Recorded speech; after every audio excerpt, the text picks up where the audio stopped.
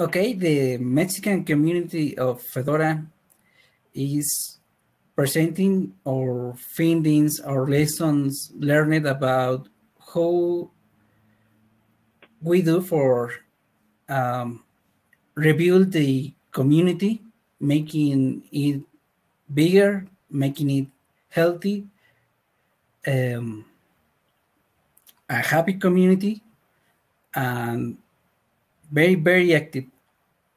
So we want to share share this with all the community, the Fedora community, and maybe get some feedback for make this better, you know. So um, I'm uh, Alberto Rodriguez. Um, we have also uh, Alex Callejas and Efren Robledo. Is, we are waiting a friend. So yes, um, maybe we can start with some numbers and other things until Efren uh, logging in. So, okay. Now in Spanish, please. Ah, eh, esto, presentamos a, queremos presentar una charla sobre las cosas que hemos logrado en la comunidad mexicana de Fedora. Eh, tenemos mm, muchas cosas que compartirles, eh, cómo ha sido el camino desde que éramos gente que contribuía individualmente eh, de forma separada, conociéndonos poco entre nosotros, a cómo estamos construyendo una comunidad mucho más activa, más saludable y que tiene mucha, mucha actividad. Entonces, nosotros somos eh, Alberto Rodríguez, y su faz es Beto.ninja, su Twitter ahí lo pueden ver en pantalla. Eh, yo soy Alex Callejas, mi faz es Darkaxel 017 y ahí también tienen mi Twitter. Estamos esperando a Efren Robledo, señor Kraken, porque curiosamente siempre tiene problemas con el audio. Pero en lo que él ingresa, podemos empezar con eh, algunos números que quiere compartirnos Beto. Entonces, eh, tú me vas diciendo, Beto, yo manejo la, la presentación. Ok, perfecto. Entonces, comenzamos. Ok. Um, eh, ¿En español? Eh, ¿Ambas? Ambas. Um, bueno, creo que se lo puedo decir mejor en español. Sí, dilo en español. Eh, mi Ok. Eh, tenemos, a veces nos enfocamos muchas veces en las cosas que no nos han salido mal, como, eh, como que ya no tenemos tantas juntas como por ejemplo en, Latinoamérica, que no este, hemos conseguido, digamos, a veces SWAC a tiempo, cosas parecidas, pero creo que eh, es parte de, de, nosotros buscar la manera de,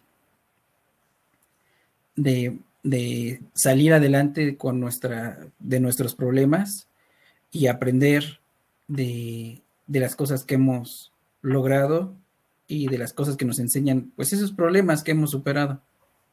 Siguiente. Eh, siguiente. Eh, tenemos un pequeño mapa que habla sobre la comunidad de Fedora de forma global. Tenemos a la gente que contribuye activamente en el proyecto. Eh, más o menos en México tenemos 45 personas, 45 people contributing actively in Fedora. Eh, es un número eh, en parte reducido, creo que podemos decir que no nos conocemos todos e, entre nosotros, pero hemos empezado a tender lazos en, nuestra comunidad. entonces, este, Hay lugares remarcables, por, como por ejemplo India, que tiene una buena cantidad de gente que contribuye activamente a Fedora. Eh, tenemos algunas partes como Alemania y República Checa que también hacen bastante trabajo. Y tenemos gente en Estados Unidos que pues suele ser la, mayoría en algunas de nuestras revisiones de, números, ¿no? Siguiente. Ah, ok. Tenemos 45 colaboradores activos al proyecto Fedora. Eh, principalmente son embajadores, empaquetadores y, este, y advocates, eh, representantes. Estos últimos tenemos cuatro y es casi, e, e, es un muy buen número, eh, pensando en que hay como alrededor de 20, 25 eh, representantes advocates en el mundo. Eh, la comunidad de usuarios es bastante amplia. Tenemos en nuestro Meetup alrededor de 623 miembros y en Telegram, que se ha convertido en nuestro principal medio de, comunicación, tenemos 241 miembros. Solamente para tener una perspectiva, pues Brasil tiene más de 1.200 miembros, me parece, al momento, y la comunidad de la TAM tiene alrededor de 232. Estamos más o menos cercanos de, de la TAM, pero alejados de la comunidad brasileña.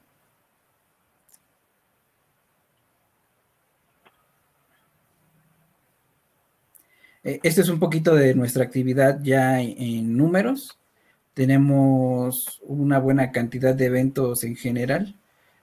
Por ejemplo, en 2018, pues los meetups los implementamos a partir de 2019, entonces no hay nada, pero en 2019 y 2020 ya tenemos una buena cantidad de, ellos.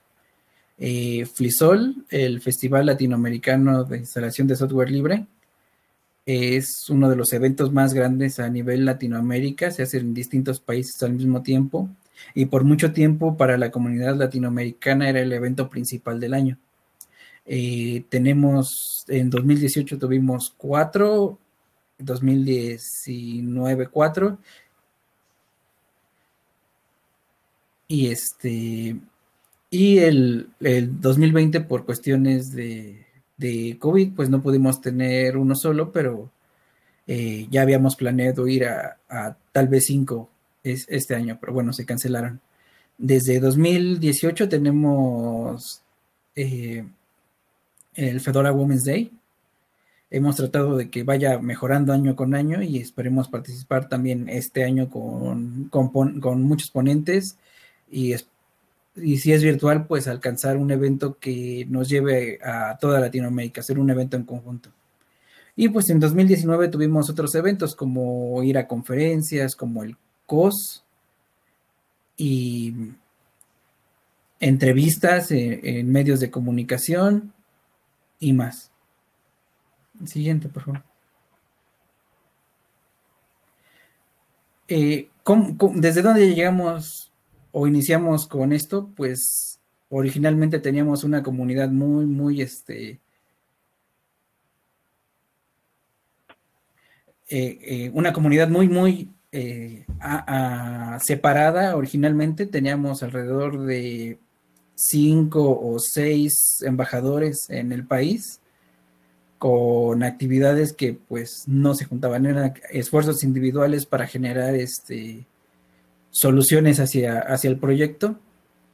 Entonces, pues no, este, no, alcanzaban un gran impulso como lo tenemos ahora. Eh, buscando un poquito con, en las imágenes que tenemos en los repositorios y blogs antiguos, encontré esta imagen de 2013 de un evento que se realizó ya con, con, Efren eh, para la instalación de Fedora 19. Entonces, pues, ¿ya se escucha, Fren? Mm, hola, hola. Ah, ahora ya te escuchas. Perfecto, entonces pasamos con Efren. Hola, yo, yo voy moviendo las presentaciones. Eh, es en, en español lento para la gente que habla inglés. Entiendo. Ok. Pues hola. Eh, hola, eh, buenas tardes. Eh, mi nombre es Efren y pues bueno, soy uno de los embajadores de la última generación del proyecto Fedora aquí en México. O sea, somos los que llevamos ahorita el proyecto Fedora México, junto con mis compañeros Alberto, Alex. pues hemos estado dándole un fortalecimiento a esta comunidad, ¿no? Acá en México. Eh, principalmente todo esto empezó con, con curiosidad de mi parte. Realmente la idea era primero este, pues, traer Fedora a México. Había comunidades de otras distribuciones, pero, pero una comunidad, bueno, yo soy de la Ciudad de México, yo soy de la Ciudad de México y en Ciudad de México pues no existía ninguna comunidad enfocada a enseñarle a otras personas a utilizar el sistema operativo Fedora.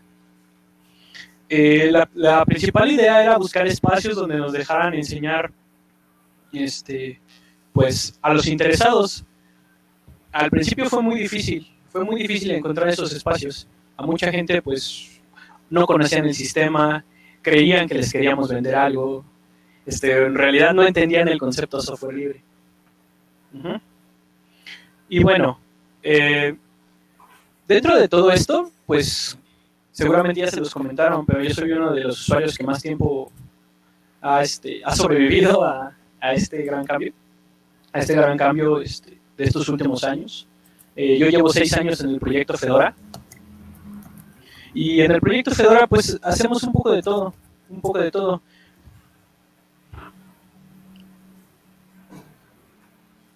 Miren, principalmente yo me volví embajador al viajar al FoodCon, este, al FoodCon en Managua Realmente fue, literalmente fue tomar mi mochila, mi laptop, un par de cables, conseguir mi pasaporte. En menos de 15 días nos organizamos con otro amigo que, que pues este, me daba mucho, este, lo recuerdo con, con, con, alegría porque él fue loco que me invitó a, a ir a, este, a Nicaragua y, y conocerlos a ustedes. Muchos de los que veo en el chat, pues los conocí ahí fue muy, muy divertido. La verdad es que nunca, había, nunca me había acercado a la comunidad de esa manera. Y pues más que nada es un aprendizaje, ¿no? El aprendizaje es, este, es primero, debes de romper todos tus paradigmas. Si tienes paradigmas o tienes ideas, pues sé consciente de que cuando entras a un proyecto internacional como es el Fedora Project, lo primero con lo que te vas a topar, o lo primero que vas a encontrar, es que todos somos diferentes. O sea, realmente todos hacen, hacen diferente su trabajo y nos muestran ideas de cómo podemos ir mejorando con nuestra comunidad. Por eso es que yo no dejé de hacer, no dejé de dar charlas durante estos últimos seis años. Y ahora me alegra mucho porque veo que ahora le estamos dando más seriedad. Hay compañeros que están mucho más involucrados que yo con el proyecto Fedora, como este Alberto. Alex nos ayuda muchísimo con la parte de la organización. Y hablando del viaje en Nicaragua, realmente ahí conocí a gente este, impresionante. Digo, no, no, los, no recuerdo todos los nombres, pero voy a tratar de mencionar a la gente que veo que anda por aquí. de Brasil, Itamar. Itamar está por aquí. Alejandro Pérez, oh, un gusto que esté por acá. Este, Valentín Basel, eh, Master, que fue mi maestro. Para, por, él, por él es que estoy, me, me interesé mucho por lo que son los entornos como I3 como i3, este, Rino Roldán, que me enseñó algo sobre contenedores y configuración de terminales, este, no sé, son muchas personas, son muchas personas que, que de cierta manera me enseñaron a no rendirme a la hora de utilizar un sistema operativo como Fedora. Eh, realmente lo primero que aprendí fue échalo a perder, aprende a repararlo y enséñale a otros. Es la única manera en que, yo, puedo, yo puedo decir que uno puede aprender. Hay un dicho por acá que dice que el que enseña aprende dos veces, así que, pues bueno, es lo que tratamos de replicar de lo que aprendimos. La verdad fue una cosa impresionante. Yo nunca había sentido un recibimiento así de cálido con gente de otros países. O sea, los estereotipos que todo el, todo el mundo tiene de que, de que la gente no acepta a personas de otros lados, eso es una mentira. La verdad, el software libre une a la gente.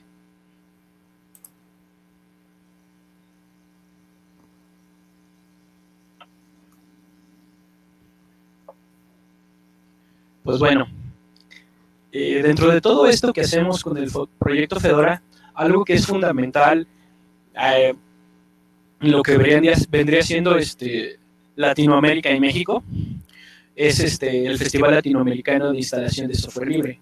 En el Festival Latinoamericano de Instalación de, libre, de Software Libre tratamos de mostrarle a la gente las ventajas y las virtudes de tener instalado dentro de nuestros computadores Fedora.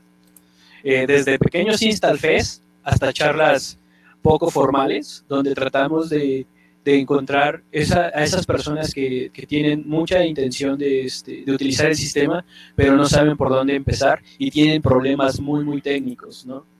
Esta parte donde, donde tiene que compartir el espacio en una laptop con otro sistema operativo, pues es donde tratamos de darles la mentoría y, llevarlos, acompañarlos.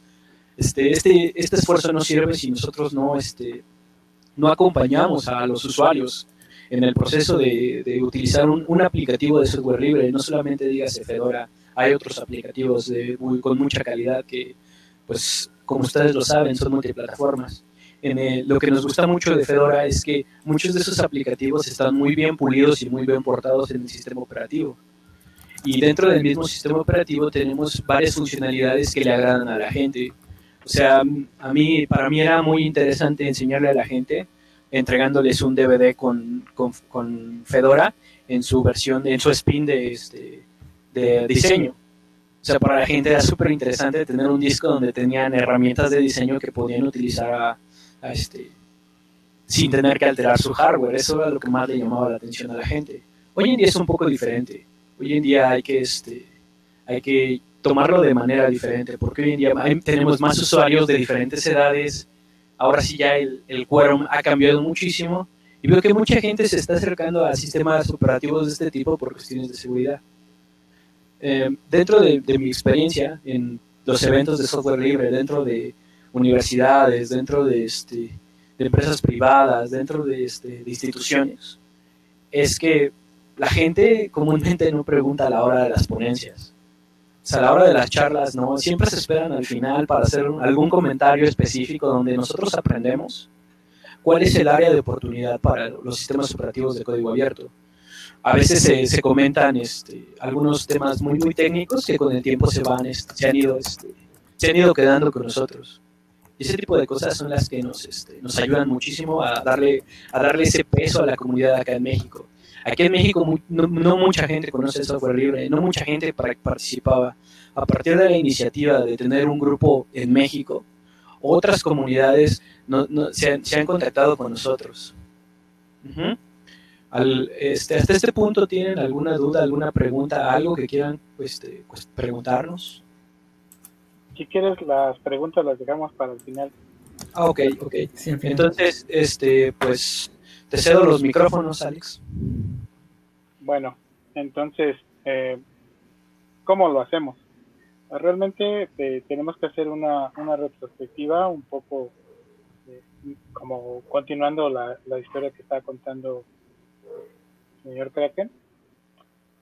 En, en 2018 el panorama de México era eh, muchos grupos de tecnología haciendo reuniones, eh, grupos de gente de Docker, de Python, de Arroz, de OpenStack incluso, eh, Elixir, las chicas de P-Ladies, los Linuxeros en otras partes de la, de, de la República, DevOps en México e incluso una comunidad muy grande que es CISARMY ubicada originalmente en Argentina, ahora tiene también su base en México.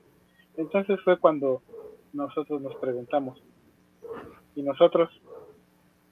¿Dónde estamos nosotros, no? Como, como usuarios de Fedora.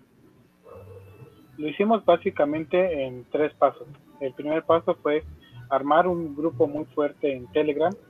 Buscamos a los expertos locales. Nosotros sabemos que cada quien en su, en su comunidad sabe que en, en, sus regiones eh, locales hay gente que tiene muchísimo conocimiento y sobre todo muchísimas ganas de compartir. Entonces los invitamos a ellos, empezamos a tener un grupo de Telegram muy fuerte técnicamente y empezamos a organizar reuniones, sobre todo basados en el respeto. Eh, esta, esta gente que tiene muchísimos conocimientos merecían un respeto y ellos nos daban un respeto increíble, lo que nos llevó a organizar eh, nuestro primer, nuestra primera reunión en, en febrero de 2019. Creamos nosotros un grupo de Meetup, de Fedora México, el cual eh, cuenta con un repositorio de todas las presentaciones que hemos hecho. Eh, eh, ahí pueden ver ustedes la dirección de ese repositorio. la primera reunión tuvimos 47 personas que atendieron, que se registraron.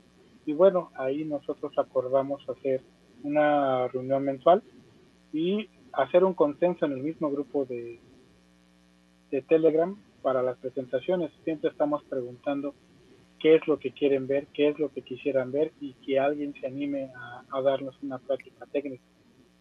Eh, buscamos siempre los mejores speakers, los temas de, interés en general, para que todos estemos eh, conformes y a gusto con lo que estamos enseñando y lo que queremos aprender. Eh, una tercera parte, como un tercer paso, perdón, como, como bien lo decía eh, tanto Beto como el señor Kraken, es la participación en eh, eventos comunitarios, pero ya identificados como el grupo de Fedora en México. Generamos nuestros propios eventos, tuvimos nuestra release party de Fedora 30, hicimos un Fedora Women's Day en UNAM, que es la universidad más importante de México, y además participamos en eventos comunitarios eh, a nivel nacional. Nos invitaron al COS, que es el, eh, la reunión anual de contribuidores de software libre, además del que ya mencionaba eh, Efren, que es el Festival Latinoamericano de Instalación de Software Libre. Hicimos nuestra release party en las oficinas de Red Hat México en mayo. fue un evento muy interesante donde además pudimos eh, repartir y tuvimos una charla muy, muy interesante. Y además de eso, también eh, participamos en, este, en esta cumbre de contribuidores de open source que no fue en la Ciudad de México, sino fue en Guadalajara. Entonces, fue un evento bastante interesante, representando siempre a Proyecto Fedora y algo de lo que también nos orgullece mucho es haber organizado un Fedora Gómez Day en la Ciudad de México, en una de las, eh, eh, más bien en la universidad más importante de, este país, que es la Universidad Nacional Autónoma de México. Eh, en octubre tuvimos la presencia de, muchas chicas que son localmente muy conocidas en el ámbito tecnológico por tener muchísimo conocimiento y estuvieron muy, muy contentas de participar. Además, también contamos con la grandiosa presentación de, Tática de María Leandro, nos compartió desde Venezuela eh, muchas, eh, muchas cosas para las chicas de la, de la universidad. Y también tuvimos una plática desde Alemania, donde nos habló eh, Susi acerca de, inteligencia artificial y lo que está haciendo ella por allá. Entonces logramos convocar a todas estas eh, chicas y la verdad que fue un evento muy, muy bueno para nuestra comunidad.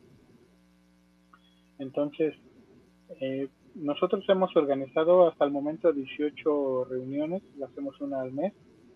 Y bueno, eh, lo que decimos es eh, simplemente hay que insistir, insistir, insistir, no rendirse, porque todavía tenemos mucho, mucho que hacer y mucho que aprender.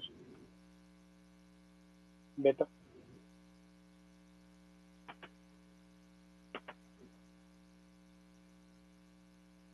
Eh, no te escuchas, Beto. Ya. Ya. Creo que, siempre hay una manera de hacer mejor las cosas y no es que estuviéramos haciendo las mal ya en este momento, sino que sencillamente es propenso a, mejorar. Eh, tenemos algunas ideas para hacerlo mejor.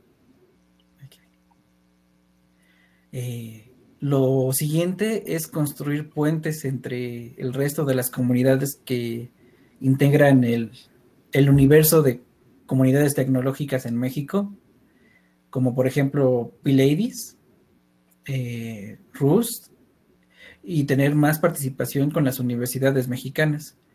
Eh, e, el poder estar en la UAM, en la UNAM, que son dos de las que son las más grandes universidades públicas mexicanas, eh, nos, abre paso para... Politécnico, ¿no? Ahí creo que no hemos estado. No, eso también es un, mm, Vamos a tener que estar y ya tendríamos los tres. Bueno, eso sería genial. disculpen. Este, Entonces, este, la idea es construir más puentes. ¿Cómo hacer esto? Pues muy sencillo. Eh, creo que todos podemos compartir algo con otras comunidades, como por ejemplo, podríamos llevar alguna plática a P-Ladies o a, o a la comunidad de Python en México. Eh, entonces, pues, eh, e, esto ayudaría a que después pudieran conseguir eh, pudiéramos conseguir speakers, eh, eh, gente que colabore con una plática para nuestra comunidad. Y la idea es que nos vayamos conociendo entre todos para mejorar la, la comunicación entre comunidades.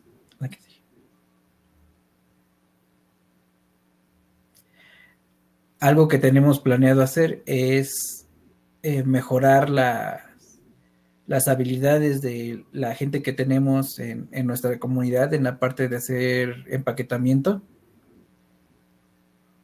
Eh, principalmente queremos dar un taller o varios talleres que impliquen este, enseñar cómo empaquetar para Fedora. Y el siguiente paso es implementar un programa de adopción de paquetes.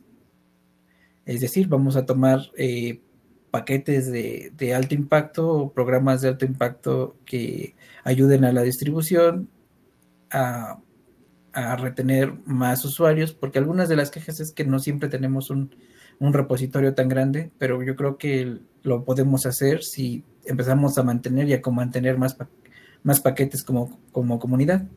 Y la idea de que sea con mantenimiento es que no recae en un solo individuo de la comunidad, eh, la tarea de hacer el empaquetado, sino que recae en varios y entre todos nos ayudamos. Que viene.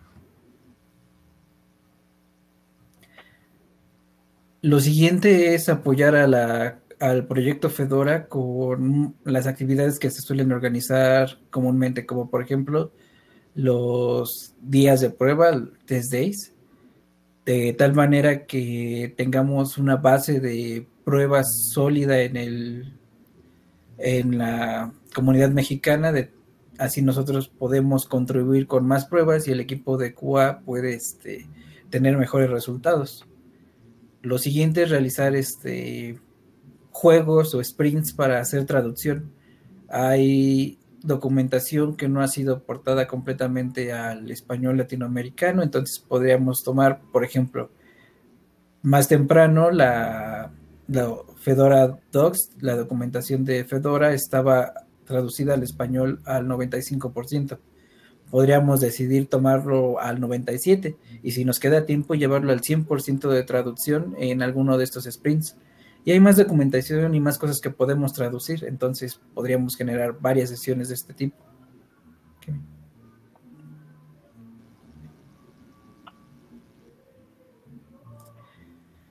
Y pues sí, realmente tenemos mucho que hacer. No conocemos cuál es la fórmula correcta para convertir a nuestra eh, gran base de usuarios de Fedora a gente que contribuye en Fedora, pero estamos tratando de o buscando la manera de hacerlo y no nos vamos a detener hasta que encontramos alguna manera de, de lograr justamente esta, este cambio, ¿no? Aumentar la cantidad de gente que contribuye en Fedora a partir de nuestras comunidades locales haciendo más, más, más grande eh, nuestro el proyecto local como el proyecto global.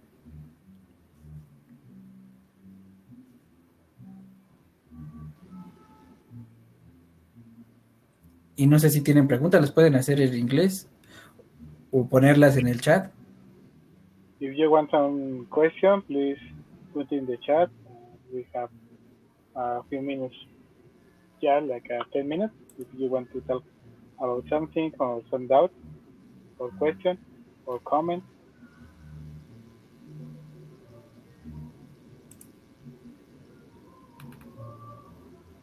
¿Algo que quieras añadir, Efren?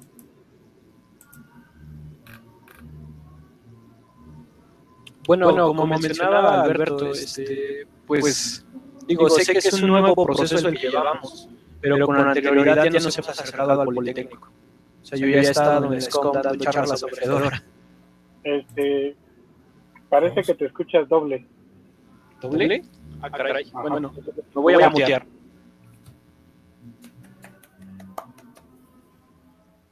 A ver, ahora. Bueno, bueno, es, les, comentaba, que ya, nos hemos acercado al Instituto Politécnico Nacional por, la cuestión que decía Alberto. O sea, yo ya he llevado charlas para visuales en el, en el, Instituto Politécnico Nacional. Creo que, deberíamos, retomar, esas áreas. O sea, hay, mucha, gente que está, está en, el, en el área de informática que le interesaría mucho la parte de aprender a utilizar una herramienta como Fedora para diferentes actividades.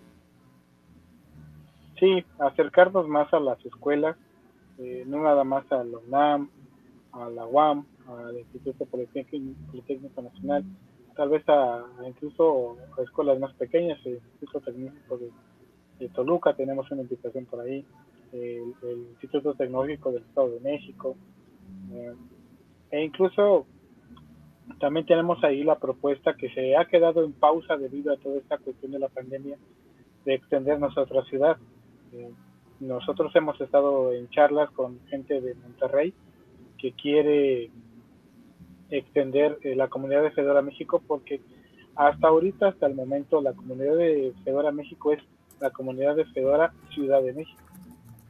Pero nuestra intención no es ser solamente locales, sino tratar de, de abarcar todo el país, tal vez eh, hacerlo a nivel nacional. Eh, tenemos eh, dos integrantes muy importantes de nuestro grupo, como lo es Iván Chavero, al cual está ahorita acompañándonos en la sesión, y Alex Acosta, eh, los dos son de Chihuahua, también son del norte, y bueno, a través de ellos también estamos viendo la posibilidad de, apoyar a la creación de este nuevo grupo, o bueno, esta extensión del grupo de Fedora México en Monterrey, lo cual esperamos que se dé en los próximos meses o empezando el siguiente año para poder tener y captar más gente que quiera colaborar con el proyecto y continuar con todos estos actividades que hemos estado haciendo y que tratamos de que cada día sean mejores.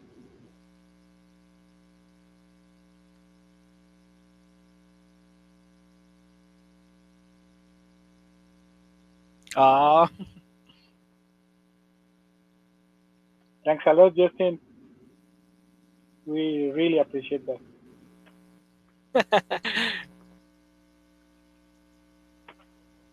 okay. okay. For sure. okay. okay. ¿Algo más que quieran agregar? Tenemos todavía algunos minutos. Bueno, pues aquí tienen eh, nuestros contactos. Eh, si tienen alguna duda, si quieren acercarnos, también tienen eh, la liga hacia el repositorio donde están todas las presentaciones y los videos de todas las presentaciones de los meetups que se han hecho, además del material, los slides eh, y el enlace hacia el grupo de Telegram. Cualquier duda, cualquier comentario también siempre nos encuentra por ahí o de forma directa en Twitter. nuestros fans también están ahí en, esta, en este slide.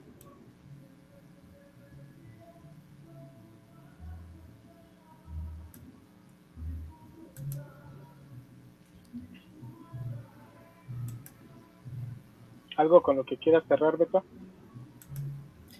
Pues darles las gracias a todos. La verdad es que eh, eh, nos hemos estado juntando eh, en este camino por o que ya habían empezado a, a caminar gente como como por ejemplo este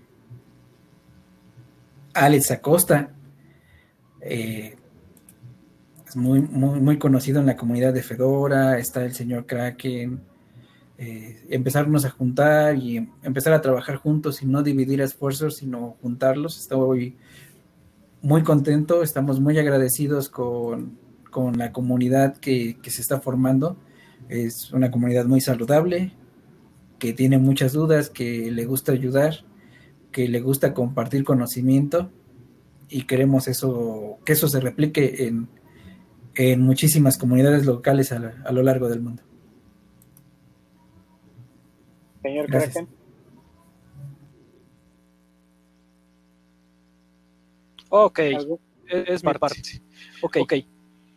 Este, este, de, de, mi parte, pues, pues agradecer, a, todos los amigos que, que han logrado hacer, este, este cumplir con, con este, este con este, con este gran, gran esfuerzo. Digo, está Alex, Beto, este, este, a mis maestros, Itamar, este, HB Master, Murdoch. Por ahí, por ahí veo a un amigo que, que algún día espero volverlo a ver, a Alex Pérez. Alejandro Pérez, muchas gracias por la, por la ayuda cuando estuvimos en Nicaragua. Y pues, y pues seguir, seguir, con, esto, o sea, la, la, idea es darle, continuidad hasta que alguien más nos reemplace y siga con esto. Igual, Igual, si hay, hay gente interesada, eh, ¿tenemos, ¿tenemos el grupo? Tenemos, tenemos el grupo y, este, y pues, pues los invitamos. Más, que nada ahí podemos este, charlar de diferentes temas. Algunas, Algunas veces he de decirles que los temas son muy técnicos. Tenemos mucha gente que está ayudando a otros a, a resolver problemas.